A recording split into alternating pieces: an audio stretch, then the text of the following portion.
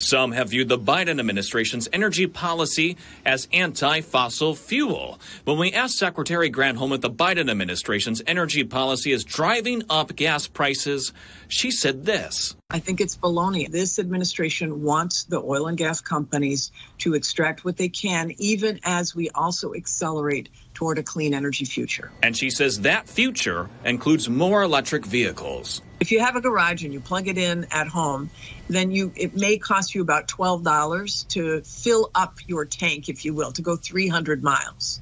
If you if you bought gasoline today, you'd be paying about 52 bucks to fill up your tanks.